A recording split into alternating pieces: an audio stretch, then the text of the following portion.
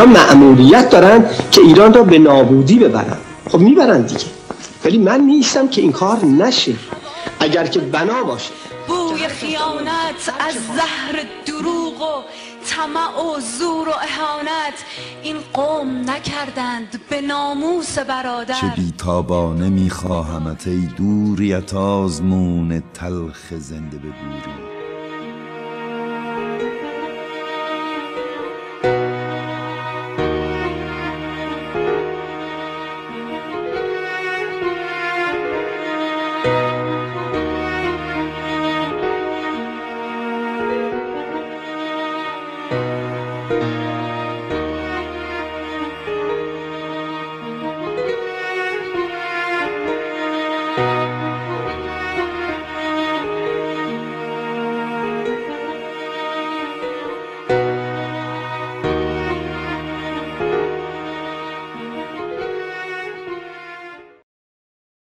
شعری برای جنگل و دریا سرودم. در دوری از عزیزترین ها سرودم. دور از شما به قربت و تبعید دیر و دور از لحظه های روشن فردا سرود از تالش و نهارخوران تا سپید رو از باغهای اشکوری ها سرودم گه در رسای دوست غزلواره گفت گاهی به پاس دوستی ما سرود می گفت یار روز و شبان جوانیم هرچه سرودم ز دل و جان سرود دوست نازنینم کاظم سادات اشکوری گفته بود شعری برای خاطر باران سرود. بنده هم به دنبال او این غزل رو گفتم ایرزا نوریزاده روز جمعه امروز روز اول سال روز اول سال و دوازدهم دی ماه به شما سلام. طبیعتا همه ما میگیم سال جدید سال خوبی باشه. با دکتر لاجودی صحبت می‌کردم گفت امیدواریم سال 21 در قرن 21 سال متفاوتی باشه. آرزوی همه ای ماست. سال ننگینی بود سال گذشته. حالا در سطح جوانی که مسئله کرونا و ابتلای ما و این بلایی که چینی ها یا به عمد یا به صحف بر سر بشریت آوردن و اون وقت خیلی جالبه توی این وسط نگاه کنید. فلاکت و مزدوری رو. عراقی ها یه قرارداد درجه یک با داوه کره بستن که بندر فاو رو که الان هیچ اصلا قایق هم توش نمی‌تونه بیسته اونجا رو در ظرف دو سال تبدیل بکنن به یکی از بزرگترین بنادر خلیج فارس قدرت پذیرشش به جایی برسه که کشتی های قولپکر اقیانوس پیما رو بتونه کشتی های تجارتی و نفتکش رو بپذیره. جمهوری ولایت فقیه تلاش می‌کنه این قرارداد دو شیش میلیارد دلاری رو باطل کنه. با فکر بکنید آقای قیس خزعلی یکی از این نوکرای مزدور و آدمکش جمهوری اسلامی رئیس اصاحب اهل حق که انقدر دزد و فاسد بود که حتی مقتدا صد اربابش بیرونش.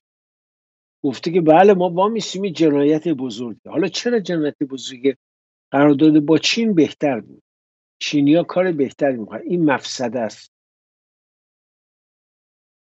ببینید شما چی می‌خواید بگید؟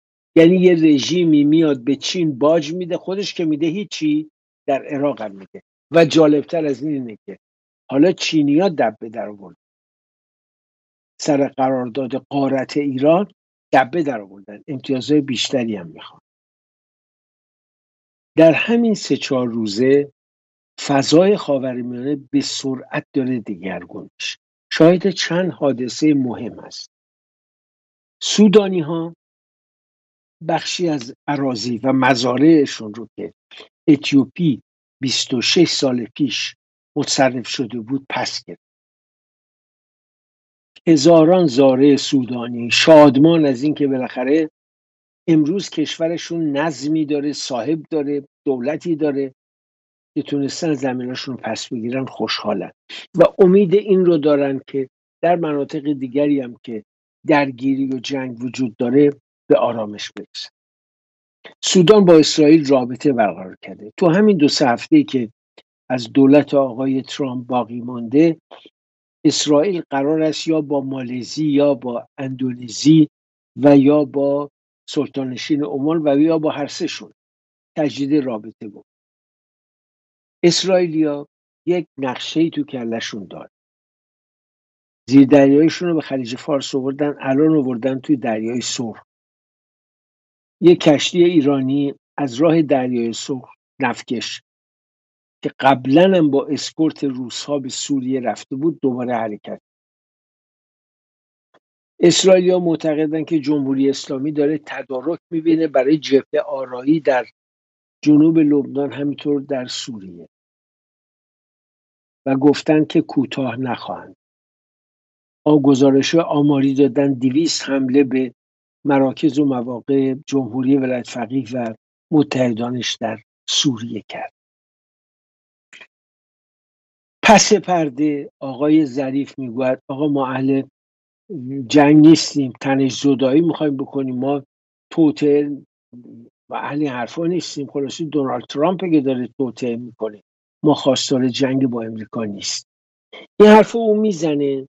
اسماعیل قاعانی نوکر سید علی آقا که بعد از قتل سلیمانی شد فرمانده سپاه قدس واقعا آدم بگه نمیشه اینجا بگی کله پس برخواست جای سگ نشست.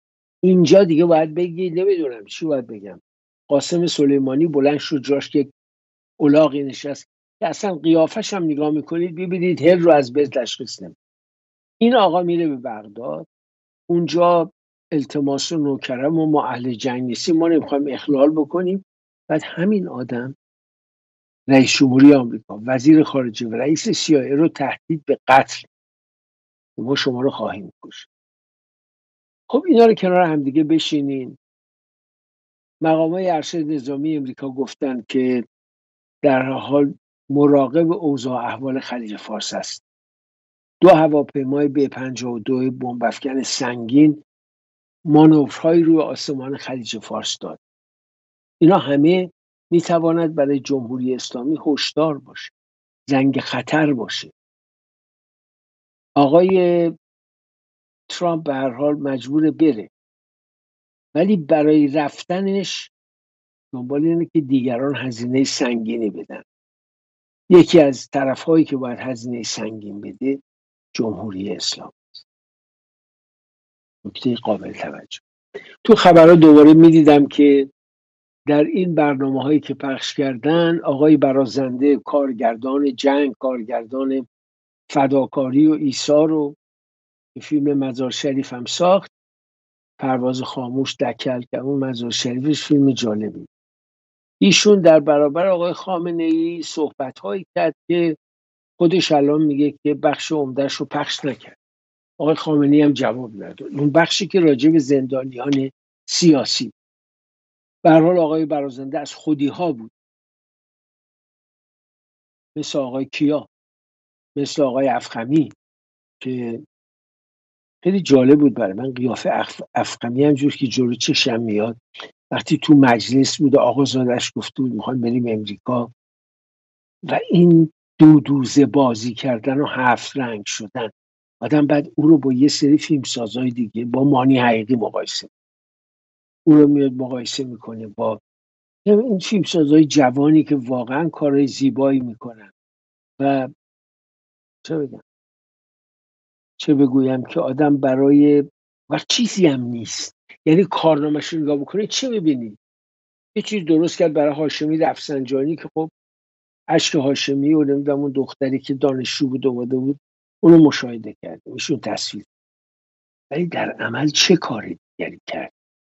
که برجستگیشو در سینما نشون بده حالا ابراهیم حاتمی کیا کارایی کرده؟ به هر حال آژانس شیشه ایش بادیگاردش اینا هر کدوم چه نظر سینمایی چه نظر تکنیک و کار کارایی بوده قابل تعمل در چارچوب سینمای ایرانی. ولی آقای افخمی چه هوچی بازی. هوچی بازی. و من یه چیزی بهتون بگم. این هنرمند همینجور من این رو بازم میارم می‌بینم. این آقایون نخبگان و هنرمندان و برجستگان تو همش نگاه می‌کردم غیر از این آقای حاتمی کیا این تفلک ها همشون ورشکستگانه به تقصیر نظر قیافن. چون زمان زیادی رو مثل که در طول روز با کوکنار خوشن. برها ناسو علودین مولود و اینها هم قیافهاشون تفلک ها همه در حال چرت چایی رو چجوری سورت میکشتن یه داستانی براتون بگم خیلی با من قبل از نوروز سال 56 جلسه ای تو رادیو داشتیم که قرار بود برنامه نوروزی رو بررسی کنیم و منم یه برنامه ویژه خاصی داشتم که شعر و موسیقی با هم بود. شیرخان عزیزم رئیس آرشیوم همکاری با من می‌کرد. و همطور برنامه دیگه که داشتیم. نشستیم و چای آوردن. جا گذاشتن. یکی از همکاران که هم برنامه هم از مدیران بود و توجیهش هم در رابطه, رابطه ام کار کرده علا حضرت و دولت اینا خیلی جالب بود. ایشون خیلی دستمال ابریشمی در دست ولی در این حال خب چرت هم می‌زد. وحیدی تهیه کننده بلند شد قند و برد سه تا دونه قند انداخت توی استکان ایشون چایش هم هم زد و بقول آماده نوشیدن است. تمام بچه ها قش کردن دیگه تو اون منظره رو که مشاهده کرد حالا در مورد آقای خامنه ای هم این دیوار استکان چای که می بردن همه قنپلو قند رو مینداختن اون تو معلوم بود هرت می‌کشن و حالت های برنامه های گرده اصرشون رو اونجا به هر حال به یاد آورد حالا کاری ندارم هر کسی مسئول عمل کرده خیش است.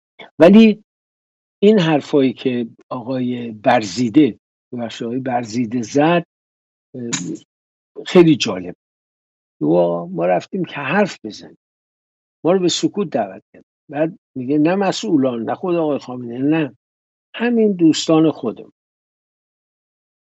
و آقای برزیده میگن که بله صحبت نکنید بعد من هر حرفی زدم پخش نشد. خب حالا من زیادتر صحبت نکنم. باز هم آرزو کنم که سال خوش و پربرکت و پر از صلح و دوستی و عشق برای جهان و آزادی و آبادی و سرفرازی برای مردم ایران باشه. در این روز سال اولین روز سال میزبان بانوی هستم که همه ما رو به شگفتی واداشت. یک بانوی مزدین همسر شهید داشته بچه ها رو به دندان گرفته بزرگ کرده برادر آزاده و مبارز میاد و همراه سیزده تن دیگه اطلاعیه بیرون میدن به آقای خامنه که سید علی آقا موقع جالب اینه ایشون در زندان صداش از اونجا به گوش ما می‌رسه. در فروردین همین امسال 99 میگه آقای خامنه بنده گناهی نکردم که بخوام از تو طلب بخشش کنم. در بخشش برای چی بکنم؟ من گناهی نکردم. من آیا اومدم جنگ را انداختم؟ آیا مردم رو تو خیابون کشتن؟ من عفو رهبری رو نمی‌خوام که اصلا رهبری رو قبول ندارم. من که جنگ تحمیل را انداختم. بچه های مرا شما بی پدر کردید. سی و هشت سال زندگی من رو به تاراج بردید. حالا می‌خواید من عفو بخوام؟ مگه من چه کردم؟ تمام اتهامات مرا ابتدا ثابت کنید. بعد مرا به زندان ببرید. بعد بدین اعدامم کنید. من عفو خامنه رو نمی‌خوام. عفو را به کسانی بدهد که رهبر را دوست دارم قبول دارم خانم سپری عزیز درود بر شما. سلام بر شما آقای نوریزاده. ممنونم که منو به برنامهتون دعوت کردین. اینجا برنامه خودتونه. من به همه آزادگان وطنم به ویژه بانوی مثل شما خیلی احترام می‌گذارم. یادتون باشه خانم سپهری درست وقت دادم میبینتش خواهر مادر امه دایی خاله همه اون کسایی که می‌شناسیم. ملموسن جنسشون با ما یکیه می‌بینیم. غریبه نیست یه کسی نیست که آدم بگه یه موجود جدیدیه. نه. از خودمونه. بنابراین حرفاشم به دلمون میشنه اول خانم سپری بگین آخرین وضعیت شما الان چجوریه و وضع برادرتون بچه ها من که دیگه همون 25 اردی بهش که اومدم بیرون گفتن شما به دو روایت شد. شبی که من از زندان بیرون کردن گفتن که شما یک سال پنج سال پنج سال زندانی داری و به طور تعلیقی و دو نوبت هم شلاق. یک هشتاد و چهار ضربه رو که گفت بعد گفت هشتاد و خورده که گفت دیگه من نشستم شروع کردم داد زدن. گفتم که اگه قرار من برم بیرون با تعلیقی و با اینها با شرایط من نمیرم. که گفتن حالا برو. بعد روز پنج تیر که برادرم آقای خواستار و آقای مرتزوی رو آوردن دادگاه من رفتم. و اونجا گفتن بیا تو و رفتم. گفتن که این برگر رو بگیر و تو که رسانه ای می‌کنی اینه حکمت. تو اشتباه کردی اینا رو زیاد و کم گفتی. گفتم من همونجا برگر رو که سرباز از بند نسوان آورد دم در زندان و به دفتر داد و مسئول دفتر زندان. برای من خوند گفت اینا رو من باید به تو ابلاغ کنم و برگر رو بهت نمیدم اینا رو گفت. گفتن نه این هست. و بعد گفتن که شما یک سال زندان تعلیقی داری به مدت دو سال تعلیقیش هست یک سال زندان. و دو نوبت هر نوبت هفتاد و چهار ضرب شلاق. و اون شیش سالی هم که در 29 دی به من داده بودن اونو دیگه با نه ماه و پنج روز دیگه نمی‌دونم خامنه ای برای چه اساسی بخشید. بقیهش آقای خامنه ای بخشید خانم سپری این حکمایی که برای شما دادن در یه دادگاه واقعی بوده یعنی رفتین تو دادگاه دفاع کردید بحث کردید یا نه یه چیز تشریفاتی فرمولی بود و حکم صادر شد. همه ماهایی که دستگیر شده بودیم به تدریج بردن به شعبه چهار دادگاه انقلاب قاضی منصوری. شخصی هست. لباس روحانیت نداره. من و برادرم رو در 29 دی بردن. و اونجا آقای آقاسی بودن و آقای مکی و یک پزشک بودن و معاون دادستان آقای تبا تبایی و همون قاضی. و فقط گفتن که شما شیش مورد بود که آقای آقاسی از پرونده جدا کرده بود و به من نشون داد. گفت که شما با این شیش تا مورد نمی‌دونم نشر اکاذیب توهین به رهبری تشویش اذهان عمومی خیلی چیزا بود. و یکی از مواردش بود که مصاحبه با مسیح علی نژاد. که من که نگاه کردم بعد آقای آقاسی گفت که شما خودت دفاع می‌کنی؟ یا من گفتم نه اگه اجازه بدن که من خودم دفاع می‌کنم. اول برادرم رو محاکمه کردن بعد من که خیلی هم اجازه ندادن به صحبت کردن. و من گفتم که من از این شیش موردی که شما اینجا برای من برشمردید من یک موردش رو انجام دادم. جرم نکردم. من یک مصاحبه با مسیح علی نژاد داشتم. گفت خب بنویس امضا کن. من نوشتم امضا کردم بعدم گفتن برید تمام دفاعیت ما این بود. و در دوازده بهمن مجددا من و برادرم و باز به همون شعبه بردم و گفتم ببینین اونجا ما نگاه کردم دیدم که به این قطر برگه هایی که ما در 45 روز هر کس به تدریج من سه من 45 روز در اطلاعات بازجویی شدم. بقیه صد روز و شیش ماه هم بودن که آقای نوریزاد و آقای خواستار بودن. و دیدن تمام برگه های دست نویس ما رو ریختن دور و خودشون هرچی دلشون خواسته تایپ کردن و یک حکمایی رو دادن. که من اونجا به برادرم گفتم که نگاه اینا اصلا اونایی که من گفتم که من اینا نیست. بیا ببینیم چه برای هر کدوم چقدر زندانی دادن. که ما همونجا شمردیم و حساب کردیم برای چهارده نفر ما هفتاد و دو سال زندان داده بودن. هر کدوم متفاوت بود. ولی من و برادرم هر کدوم 6 سال داشتیم. و اینجوری. برادرم هم که همون روز دستگیری که ما رفتیم جلوی دادگاه ساجدی برای اعتراض به حکم آقای جعفری که یک آزاده و جانباز و برادر شهید و خانواده شهید هست که ما دستگیر شدیم همونجا که آمدن به مردا حمله کردن. و همونجا که فک برادرم رو گرفته بودن دو تا از دندوناش رو شکندن و اونم اصلا هیچ درمانی نشده. چند سری هم که رفته دندون پزشکی داخل زندان. گفتن ما فقط می‌تونیم بکشیم دندون شما رو. و یک نوبت در اسفند ماه یک نوبت هم در شهریور برادرم رو بردن به بندای دیگه. و از اون افرادی که با جرایم دیگه بودن اونا رو گفتن که برادرم رو در دو نوبت کتک زیادی زده بودن.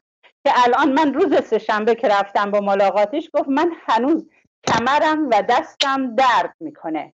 و من هنوز درد دارم از اون صحنه هایی که به من اینا حمله کردن. ده 15 نفر در بند دو و یک نوبت هم در یه بند دیگه تو اسفند. و الان هم بیمارستان بردنش چند برای درمان هم عروق گردنش مشکل داره هم بیماری گوارش داشت. 24 آذر آوردنش بیمارستان قائم.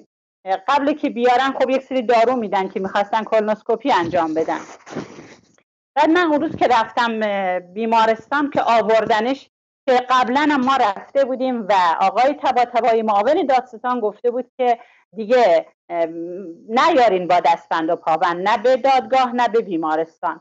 که باز هم با دستبند و پابند برادرم را آوردن. دو ساعت اونجا بیشتر موند و بعد آمد اون معموری که همراهش بود آقای سپهری بلند شو بریم. گفتم کجا؟ که اول ما رو راه نمی‌دادن که باش صحبت کنم. من اعتراض کردم. چرا دستم پابند گفت من همینجوری تحویل گرفتم. گفتم خب اجازه بده من یه عکس بگیرم که من فردا برم با آقای تباتبایی بگم. نگاه شما دستور دادیم ولی اجرا نشده. زندان اجرا نکرده این موردو گفت که نه من اجازه نمیدم. هم فردا خودت برو پیگیری کن. دیگه داشتیم با هم بحث می‌کردیم که گفت آقای سپهری بلند شو بریم. گفتم کجا؟ گفت زندان. گفتم چرا؟ گفت ما هم برگه که آقای سپهری هزینه بیمارستان رو واریز کرده. هم او رو به من نداده زندان هم کلید دستبند و پابندش رو نیاوردیم. باید اینو برگردونیم ببریم ببریم زندان. که من اونجا خیلی به هم ریختم دیدم برادرم گفتم ممکنه اون باز ناراحتی من رو زیاد ببینه. خودم رو کنترل کردم. بعدی که برادرم بردن بعد من شروع کردم به داد زدن. خیلی داد زدم. گفتم این چه حکومتی این چه دولتی این چه قانونی این چه مسلمانیه. برادر من سه روز دارو خورده الان آوردینش بیمارستان برای کلونوسکوپی با دستبند و پابند. خب اینو آوردین مگه این می‌تونه لباس عوض کنه؟ مگه این می‌تونه بره روی تخت؟ و این کلید چرا نیاوردین؟ اصلا چرا با دستبند و پابند آوردین؟ باز این سه روز دارو خورده غذا نخورده اینا دیگه برگشتیم. حسین برادرم هم همراه بود. دیگه آمدیم بیرون با آقای مکی زنگ زدم وکیلمون گفت نه من شماره از آقای تبا نداریم که من همون لحظه غروب بود ساعت پنج بعد از اون من می‌خوام زنگ بزنم چرا این کارو کردن؟ گفت ندارم و دفترش رو دارم کنم صبح وقت اداری. دیگه هر کس خداحافظی کرد رفتیم.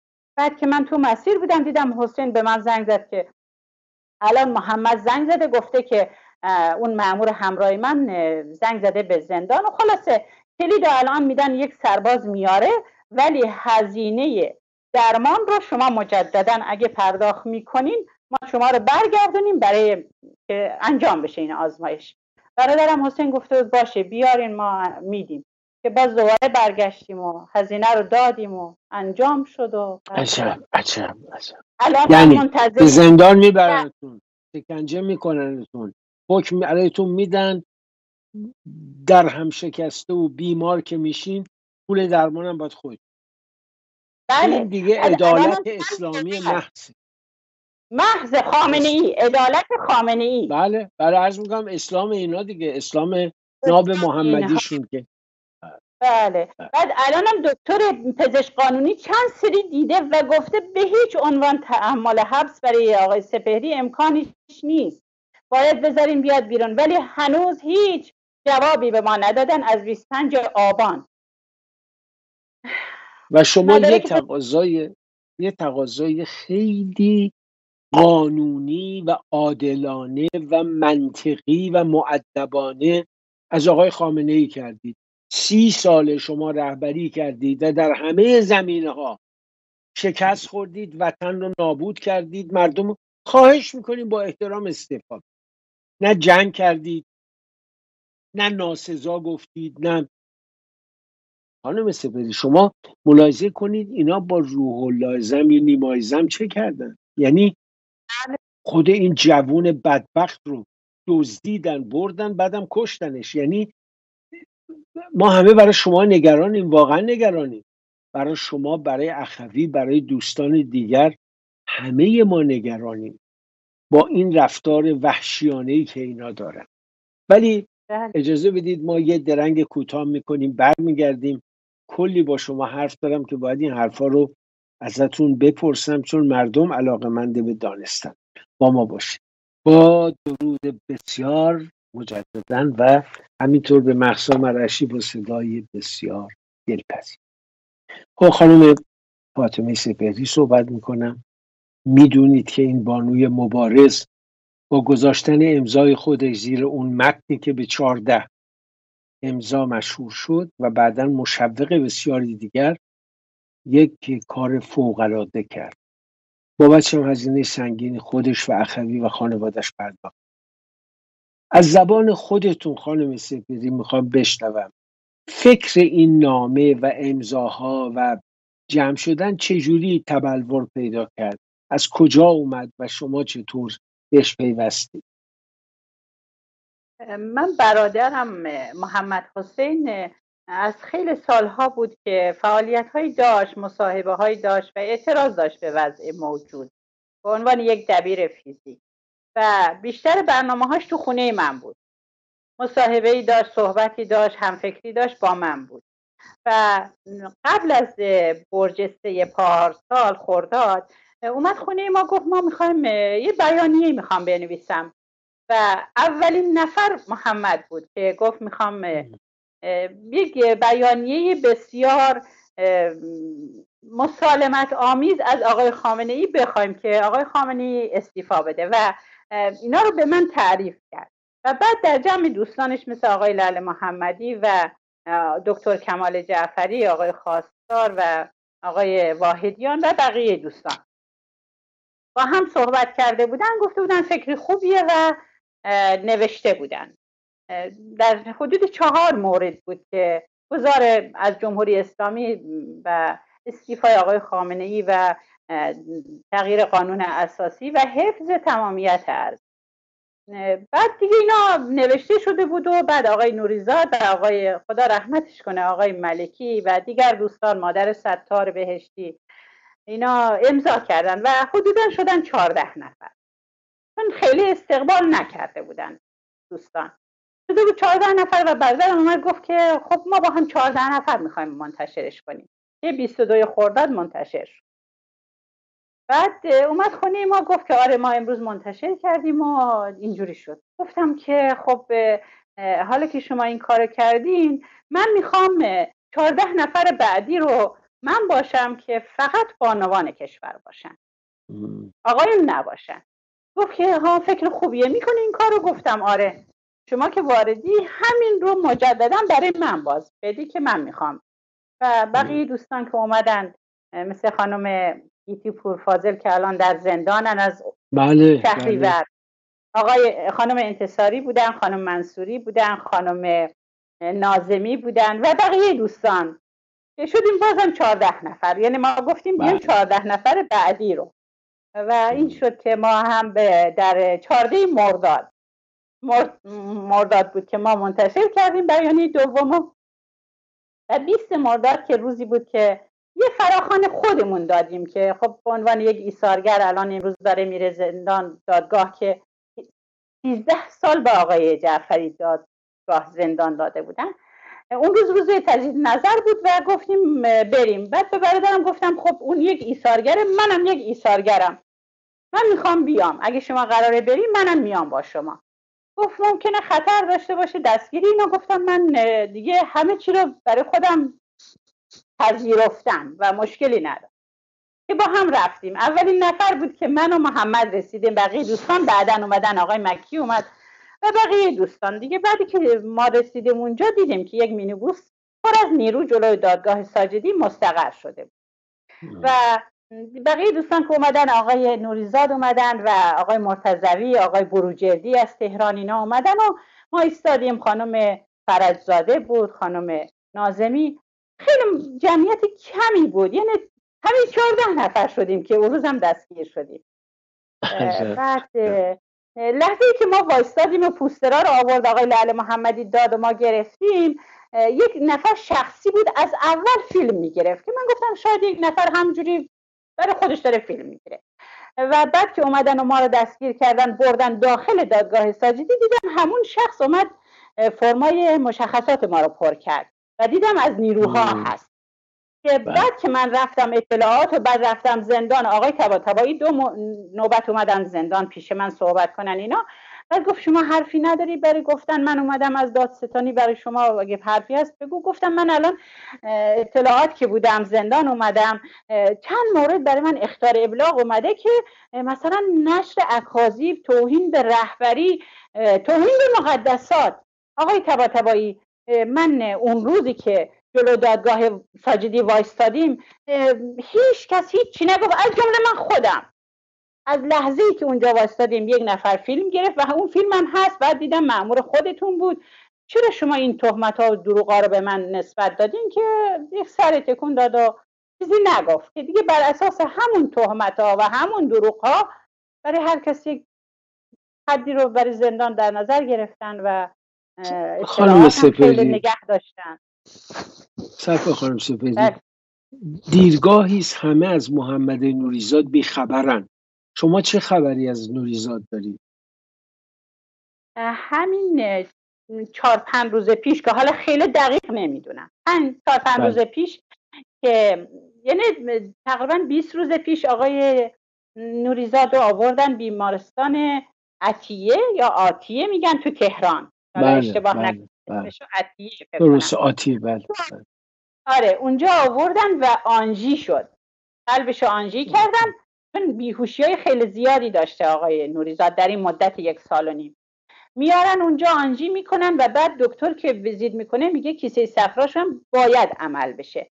و بلا فاصله بعد از آنژی برمیگردونن زندان. و زندان بوده و داروارم دیگه بهش اجازه نمیدن که مراقبت مثلا خانواده یا برن اینا. بعد بوده تا همین چهار پنج روز پیش که مجددا می‌برن بیمارستان طالقانی بدونه که خبر بشن خانواده. و اونجا کیسه سفرشون رو عمل می‌کنن و مثل اینکه باز هم باید داروها و اون هزینه بیمارستان رو خانواده بدن و آقای خامنه این نداره برای ملت. چون پول ملت باید صرف تروریست های منطقه بشه. سید حسن بله. نصرالله یا بعد مثل اینکه با خانواده تماس می‌گیرن که دفترچه بیمهشونه بیارن ولی اجازه ملاقات نمیدن و بعد از عمل کیسه صفرا باز مجددا آقای نوریزاد رو برمیگردونن به زندان اوین اخویتون در چه حالن؟ ایشون حالش خوبه؟ کجاست؟ چیکار می‌کنه الان؟ همین دیگه روز سهشنبه که ما رفتیم از هفت مرداد اینا بهانه گرفتن که شما اسراری از زندان بیرون دادین که اینا گفتن هر روز نه که هفته سه روز اینا در زندان وکیل آباد اعدامی دارن. به انواع مختلف حالا شرب خم نمی‌دونم و هر مواد اینا که گفتن اینو بهانه کردن که شما چرا اسرار زندان رو بیرون دادین؟ از مرداد ملاقات های محمد رو گرفتن. ملاقات کابینش رو قطع کردن که من روز چهارده مرداد که داشتم می‌رفتم زنگ زد که امروز من شورای انضباطی بردن و گفتن شما ممنوع ملاقاتی نیاین. که من رفتم و کارت تلفنشم ازش گرفتن و هنوز بهش ندادن. حدود سه ماه ملاقات های کابینشون ندادن. و ما بعد اوایل آبان بود که اعتصاب غذا کردن دو هفته با آقای جعفری و ما بسیار نگران شدیم. یک ده روز ما بین زندان و دادگاه در رفت آمد. پیش این خواهش پیش اون خواهش که ما بیخبری ما نگرانی محمد مریضه اینا جوابی ندادن و ما روز 25 آبان با حسین دو نفر رفتیم. یک عکسی از محمد بزرگ کردیم گذاشتیم دستمون گرفتیم و جلو زندان نشستیم. اون روزی که 25 آبان بود نشستیم کسی جوابی به ما نداد. فردا باز مجددا تا وقت اداری نشستیم. روز بعدش هم 26 آبان دوباره رفتیم. باز همون قسمت همون جلو زندان نشستیم. بعد دو ساعت مامورین زندان اومدن و گفتن که بیاین برین ملاقات. به ما روز دوشنبه بود 26 آبان. ملاقات کابین دادن. فردا روز سهشنبه ملاقات کابینشون هست. دیگه از 26 آبان ما هر هفته میریم. ملاقات کابین چون به علت کرونا ملاقات های حضور حضوری بله. آره لغو شده. بیماره نگرانیم بیماره. فشارش مثلا پری روز که من رفتم روز شنبه گفت شبش انقدر فشارم بالا بوده که بردن بهداری و قرص زیرزبونی به من دادن. و ما الان میگم بیش از یک ساله که ما پیگیر هستیم. که بیاد بیرون برای درمان. ولی هنوز که موافقتی نکردن. به علت کرونا. اصلا این بله. خانم سپردی مردم با شما چه برخوردی دارن؟ داری میری کنار زندان تو خیابون تو اتوبوس. نوع برخورد مردم آیا شایسته هست برای کار بزرگی که شما انجام دادی؟ من با اینکه چادر سرم می‌کنم پوشیدم و به این بابت کرونا ماسکم می‌زنم. ولی باز بله. هم هر جا رفتم منو شناختن و بسیار با من برخورد بسیار خوبی داشتن. از جمله روز تشییع جنازه آقای شجریان من رفتم به توس. با اتوبوس رفتم. اتوبوس که سوار شدم اکثرا منو شناختن. اونجا مم. که رفتم بین جمعیت خیلی زیاد واسطاده بودم. پشت همون نرده ها من واسطاده بودم. از دور بین جمعیت من دیدم یه جوون کاپشن خردلی تنش بود. از دور من دیدم داره میاد به سمت من. و من گفتم خب شاید از نیروها باشه. به من نزدیک شد آمد خیلی نزدیک گفت سلام خانم سپهری. درسته شما خانم سپهری هستین؟ گفتم بله. گفت اجازه میدی من یه عکسی با شما بگیرم؟ گفتم آره چرا که نه. و من هر جا رفتم بین هر کس که بودم اکثرا منو شناختن و بسیار تحسین کردن و من مفتخرم که چهل سال در جمهوری اسلامی همسر شهید بودم. ولی توهین ها از بنیاد شهید و از جامعه بنیاد شهید دیدم و شنیدم. ولی الان که من یک سال و نیم اینجوری آمدم تو جمعیت می‌بینم منو مردم جوری دیگه پذیرفتن. در حالی که وقتی ما خانواده شهدا شدیم آقای خمینی گفت خانواده شهدا چشم و چراغ ملتن. ولی ما از جمهوری اسلامی زیاد آسیب دیدیم زیاد توهین دیدیم. ولی مردم فوق العاده واقعا مردم خوبن. ما به امید مردم زنده ایم ما به آینده که مردم همراه بشن. این آفرین کار رو خانم سپهری الان بعد از این همه مصائب و مصیبت ها. الان که نشسته نگاه می‌کنه به خودش راضی از خودش راضی از اینکه این راه رو داره میره و امیدواره به اینکه به نتیجه برسه. صد درصد صد درصد. امیدوارم که روزی برسه مادر ستارها مادر پویاها مادر نویدها بیان و مطالبه کنن دادخواهی خون بچه هاشون به زودی. و ایران آباد بشه. ایران رو ویران کردن آقای نوریزاده. شما خیلی خیلی بیشتر خیلی بیشتر از من بودین در ایران می‌دونین. من وقتی انقلاب شد 13 سالم بود. ولی شما دوران خوب دوران پهلوی رو دیدین و بعد از اون درسته. هم دیدین. و الان کشور ما یک ویرانه به تمام معنا. من دو سه روز پیش کاری داشتم تهران رفتم اومدم. یعنی اینقدر فقیر دیدم که از این دو سه روز باورتون نمیشه چقدر حالم بده. کشوری با این همه ثروت این همه فقیر این همه درمونده این همه نیازمند. خواهر عزیز من وقتی آقای محمود زهار میاد راحت میگه 22 میلیون به ما دادن چمدون کم داشتیم. اگه بیشتر بود بیشتر می‌دادن. و شما فکر کنید بله، برای واکسن. کرونا خریدن الان دعوا دارن که از چین بخریم چون اونجا ارزون تره یعنی مردم ایران زندگیش خیلی من از متاسفم زندان که اومدم بیرون. یکی از سیاسیون که تو زندان هست و اسمش جایی برده نشده به عنوان نه حالا چی بهش نسبت هایی دادن ولی زندانی سیاسی هست. به نام پیر محمدی. بله. حبیب پیر محمدی. یه بچه سه ساله هم داره الان دیگه. خودش الان دو سال و نیم زندانه. این شماره من برادرم به خانوادش داده بود به من. زنگ زدن خانوادش که ما نیاز داریم اینا. گفتم حقیقتش من ندارم. ولی دوستانی هستن از خارج کشور اومدن و گفتن که اگه نیاز داریم ما به شما کمک کنیم. من شماره شما رو میدم تا کمکت می‌کنم خلاصه یک میلیون و پونصد و یک میلیون تومن به حساب این خانم واریز شده بود. اینا حسابا رو چک می‌کنن. این خانم خواسته بودن اطلاعات و پرسیده بودن. گفته بود حالا نمی‌دونم. چون من دست خطش رو دیدم. نوشته بود آره سپهری به من داده من. روز سی شهریور منو اطلاعات به بهانه که برادر تو بیا ملاقات کن منو اطلاعات بردن. بعدی که من محمد رو ملاقات کردم خب خدا حافظ نه بیاین شما بالا کارتون داریم رفتم حسینم همراه بود برادرم. رفتیم اونجا سه تا آقا نشسته بودن و بله شما به خانواده پیر محمدی کمک کردی؟ گفتم نه. گفت اینجا آمده نوشته امضا کرده. گفتم همین الان زنگ بزنین تا من ازش سوال کنم. جلو خودت بعد گفتم زنگ زدن گفتم خانم من به شما کمک کردم. گفت نه. گفتم چرا اینجا نوشتی؟ گفت من اشتباه کردم. گفتم خب واقعیت رو می‌گفتی و بعد برگشتم گفتم آره دوستانی در خارج از کشور از جیب خودشون با رضایت اومدن کمک کنن به خانواده های زندانیان سیاسی. و من ایشون رو معرفی کردم. حالا آقا دیگه شبه ها برطرف شد گفت آره. گفتم خب حالا شما جواب منو بدین که 85 میلیون ملت ایران رو فقیر کردین و تمام پول این مملکت رو خرج سید حسن نصرالله و حوسیای یمن و بشار اسد. من در اطلاعات هم که بودن روی این خیلی من بحث می‌کردم.